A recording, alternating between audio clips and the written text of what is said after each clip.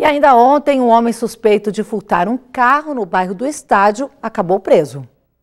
Durante o patrulhamento de rotina, policiais da Força Tática avistaram um veículo furtado e iniciaram acompanhamento. Os ocupantes tentaram fuga, mas um acabou detido. Logramos êxito em abordar o condutor, que foi conduzido ao, ao DP, juntamente com o veículo, e aguardando a vítima chegar também pelo plantão para ver se vai elaborar o flagrante. Com passagem pelo mesmo crime, o homem de 35 anos disse que está na cidade há poucos dias. Ele é de Barueri e que ele não conhece a cidade, que ele furtou o veículo e o mesmo já possui passagem por furto de veículo. No plantão policial, o rapaz foi atuado em flagrante e recolhido à cadeia local.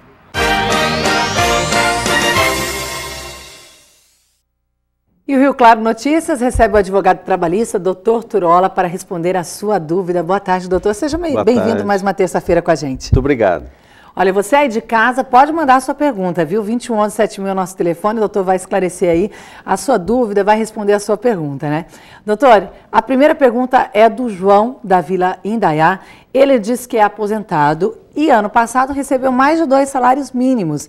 Esse ano o valor foi inferior. Ele quer saber se em 2015 ele tem direito ao abono do PIS terá abono do PIS, sim, viu? Você é cadastrado há mais de cinco anos, esse ano de 2014 terá trabalhado no mínimo 30 dias, não terá recebido, na média, mais do que dois salários mínimos por mês. Logo, em 2015, quando reabrir o calendário depois de agosto, terá direito ao abono do PIS.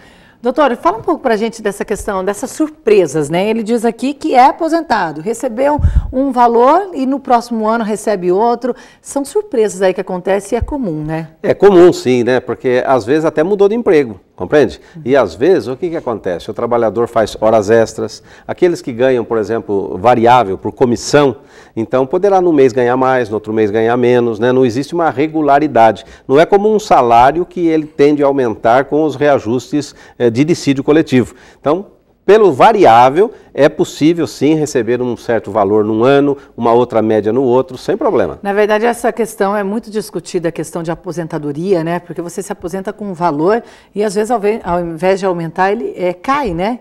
É, cai, é, cai. É normal cai. isso e infelizmente é lei, né, doutor? É, infelizmente, isso por quê? Porque o salário mínimo Cada vez que é reajustado, isso acontece em 1 de janeiro de cada ano, ele é reajustado num percentual maior do que é reajustado o provento da aposentadoria. Então, a cada ano, mais trabalhadores aposentados ganham só um salário mínimo. E a tendência é quanto mais tempo a pessoa viver depois de se aposentar, mais perto do salário mínimo ela vai estar. Doutor, como que é feito esse cálculo, então, as pessoas que vão se aposentar agora, como que é feito o cálculo do salário que ela vai receber, pelo menos no começo? É, o salário é o seguinte, viu? A média, ela é feita tomando por base desde julho de 94, julho de 94, até agora, até o momento da aposentadoria todos os meses. A única coisa que o INSS faz, ele despreza as 20 menores contribuições e daí tira a média das demais. Então, quem variou muito de emprego, né, quem tinha emprego bom e passou por um emprego ruim, isso daí afeta tremendamente no cálculo da aposentadoria. Quem tinha um ruim melhorou? Aí melhora. É, só para dar um exemplo para você, não de aposentadoria, mas de afastamento por doença, né, o auxílio doença, às vezes a pessoa trabalha, né, ganha bem, né, anos e anos ali ganhando bem, de repente ela perde aquele emprego, consegue um emprego menor, né? Eu tive casos assim, a pessoa ganhava, por exemplo, dois mil reais por mês, e de repente ela perde o emprego e vai trabalhar num ganhando só mil. E ela fica doente e ela se afasta. E o afastamento do INSS é 1.700, 1.800, mas por quê? Mais do que eu ganho agora? Por causa da média anterior, por causa de todo aquele Ai, período que então é, é utilizado. Feito, é feito uma média aí claro. para chegar a esse cálculo, né? No caso de aposentadoria também, é, doutor, as pessoas ainda têm dúvida, a gente sempre esclarece aqui essa questão da idade e do tempo de contribuição, né? Sim. Se a pessoa quiser, além desse contribuição no INSS, ela pode contribuir com outro valor para de repente aumentar esse valor da aposentadoria? É, que Como pode, funciona? Que pode, pode, né? Chama assim uma contribuição suplementar. Existem pessoas que têm dois empregos, né? E, e, qual que é o principal? É aquele emprego que entrou antes, a admissão anterior, né? Então, o emprego posterior é uma contribuição suplementar. Alguém pode receber o salário e também querer contribuir suplementarmente. Pode, só que os valores não se somam. Não significa que alguém que ganha mil reais empregado e recolhe depois né, é, autonomamente, recolhe sobre mais mil, não significa que o cálculo dela será de dois mil. Porque o suplementar ele entra no cálculo, mas tem um valor menor. É vantajoso, então, ou não? É muito difícil de ser vantajoso. Qual é, seria uma outra alternativa para quem quer ter uma aposentadoria mais segura, um valor mais seguro aí? É a previdência privada.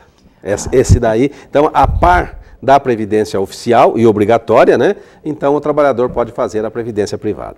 Olha, a pergunta da Maria do Bairro Consolação, é, ela tem um processo trabalhista para efeito de estabilidade, pré-aposentadoria. O processo já foi julgado e ganhou. Se com, ela quer saber se com o papel de trânsito julgado, ela pode dar entrada na aposentadoria ou precisa aguardar a execução de valores. Não precisa aguardar a execução de valores. Se transitou em julgado, quer dizer, essa decisão não muda mais. Então ela pode tomar a medida que ela quiser sem problema algum. Olha, o José da Silva, ele do bairro do Estádio, ele diz que já tem idade para aposentadoria, mas ele está afastado e recebendo benefício. É, sempre tem que, que fazer esse exame aí com o perito e nunca teve problema. Ele quer saber se pode é, influenciar, se é, ele já pode se considerar aposentado ou isso pode mesmo ele tendo a idade e o tempo de contribuição? É, ele, se considerar aposentado, em termos, até que pode, porque se o INSS dá alta, ele pode requerer aposentadoria. Mas o interessante é que ele requeira e consiga a transformação desse auxílio-doença em aposentadoria. Esse vai ser o ideal para você. Viu? Pede lá, requer, né, para que esse auxílio-doença seja transformado em aposentadoria por invalidez. E isso pode alterar no valor que ele recebe? É, então, daí ele não terá alteração. Olha, o Rogério do Centro diz que o processo foi concluído e o dinheiro está com o advogado. Quer saber Quanto tempo o advogado tem para pagar ou o pagamento deveria ser imediato? Ah, tem que ser imediato, né? Eu, quando, como advogado, quer dizer, quando recebo o dinheiro de algum cliente, já, vamos dizer, no dia seguinte ou no outro, assim que tiver certeza que o dinheiro está ali, está na conta, né, liberado, então já chama para acertar. E o empregado vem e acerta, né? Não existe um prazo. Ah, tem que esperar, não sei. Não, não tem esse prazo, não, viu? Se o dinheiro já foi liberado, né? Se já foi. Agora precisa ver se já foi liberado. Às vezes você olha no site do, do TRT, né, que é o Tribunal Regional do Trabalho, e você olha no site e está lá, expedido o guia de retirada. Não significa que a guia já saiu da vara do trabalho, que já chegou no banco, que já acreditou na conta do advogado. Não, não, é bem assim, mas precisa verificar. A partir do momento que o advogado recebe, ele tem a obrigação de pagar o cliente. A Daniele Leite quer saber por que Guarda Mirim não tem direito ao PIS. Já tem cinco anos, mas tem informação que esse período não conta. É, quem não. O, o PIS né, é, é, envolvido com a RAIS né, e existe a contribuição. Então, as empresas que contribuem, né, o tipo de, de, de, vínculo empregatício que contribui, que nem a doméstica, também não contribui. E alguns, algumas atividades que as pessoas trabalham para a pessoa física também não. Então, se não houver a contribuição, não há o direito ao PIS. E quais são os direitos, aqui a Rosimeire quer saber, quais os direitos do menor aprendiz? O menor aprendiz, né, 14, 15 anos de idade. Então ele tem direito a férias, tem direito a 13 terceiro, tem direito ao salário. Agora, o importante, o importante num contrato de aprendizado, o importante mesmo é que o menor aprendiz exerça a atividade relacionada com o contrato. Né? Se ele é um menor aprendiz, ele estuda de alguma forma, o que ele faz tem que ter relação com aquilo que ele está se qualificando. Se não houver essa relação, o contrato de aprendizado ele é nulo e passa a ser um contrato regido pela CLT normalmente como todos os demais funcionários. Olha, nós estamos conversando com o advogado trabalhista, doutor Turola. Toda terça-feira aqui com a gente, você pode mandar sua pergunta, 21 mil, que é o nosso telefone. Acabou de chegar aqui a pergunta do José Augusto, do Jardim Progresso. Ele disse que foi dispensado 15 de setembro. Pagaram rescisão, porém fundo de garantia tem 90 reais. Ele trabalhou por dois anos.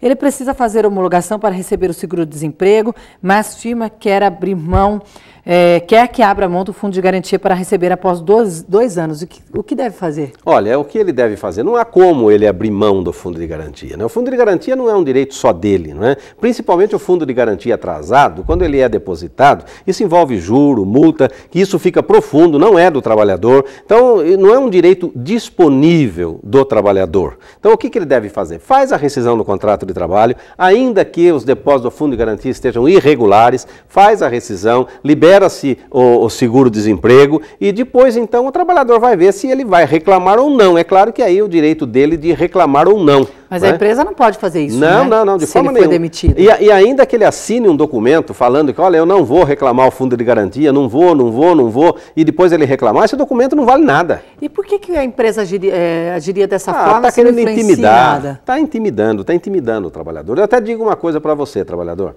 É, procure o seu sindicato de classe. Se não houver sindicato aqui em Rio Claro, entre com uma reclamação na Justiça do Trabalho. Se você tiver o aviso prévio, que é uma prova inequívoca de que você foi despedido sem justa causa, e você demonstra para o juiz que tem lá 90 reais que seja de fundo de garantia. Na reclamação trabalhista, com antecipação de tutela, o juiz vai expedir um alvará para você retirar o que tiver no fundo e vai, requerer, vai expedir um alvará para você se habilitar no seguro-desemprego. Quer o patrão queira, quer não queira, independentemente dele. Doutor, antes de encerrar, vamos falar um pouquinho então dessa questão de acordo entre as partes, né? O empregado e o empregador. É, isso pode, é legal fazer não acordo? é legal, não é legal. Acontece, né? E Acontece. muito? E muito, e muito, e muito. O empregado chega e fala assim: Eu não quero mais trabalhar lá. E o patrão fala: Não, se você não quer mais trabalhar, peça a conta. Eu não vou mandar você embora. Aí fica naquele impasse. E normalmente, quando o patrão sabe que o empregado quer sair, ele não manda o empregado embora. Peça a conta. E daí acabam conversando. Vamos fazer um acordo? Vamos fazer um acordo. Faz de conta que a empresa mandou embora. Vai liberar fundo, vai liberar seguro-desemprego, né? E o trabalhador vai ter baixa na carteira e vai sair, só que o patrão vai falar para ele: você tem que me devolver a multa do fundo. E a multa do fundo, o patrão deposita 50%. A multa vai para o trabalhador 40%, né? Porque os 40% ele pega lá. Só que ele tem que devolver para o patrão 50. E se tiver o fundo de garantia, o, o- o aviso prévio ali também, o patrão fala, você vai ter que me devolver o aviso prévio, porque eu não estou mandando você embora, né? Você que está pedindo para sair. Aí fica aquela situação desagradável. Às vezes dá certo. Dá- às vezes corre tudo bem, manda embora, deposita o, o FGTS, o empregado saca, devolve os 50%, devolve o aviso prévio, sem problema nenhum. Mas muitas vezes ocorre problema. Bom, o benefício seria então não gerar mais esse descontentamento entre as partes, digamos que se livram do problema, só que não é legal. É, pode haver multa para a empresa se for descoberto Pode, isso? pode, se houver, sim, porque a empresa acaba sendo conivente né, com, com certas situações. Porque quem mais perde, quem mais perde no acordo, né, do fazer de conta que está despedindo o empregado, quem mais perde é quem? É o governo, é o Ministério do Trabalho. É o, é o fundo de amparo ao trabalhador. Por quê? Vai pagar seguro-desemprego para alguém que está desempregado, mas não involuntariamente. É ele mesmo que quis, foi ele que quis. Então, o prejuízo maior fica para o programa do seguro-desemprego. E aí eles não vão deixar barato, né? Não vão deixar barato. Doutor, eu quero agradecer a sua participação hoje com a gente. Na semana que vem, mais esclarecimentos. Durante a semana, você pode continuar mandando a sua pergunta. 21 11 7000, que é o nosso telefone. Até a semana que vem. Uma ótima tarde. Até lá, se Deus quiser. Confira as vagas do Pátio de Rio Claro para esta terça-feira.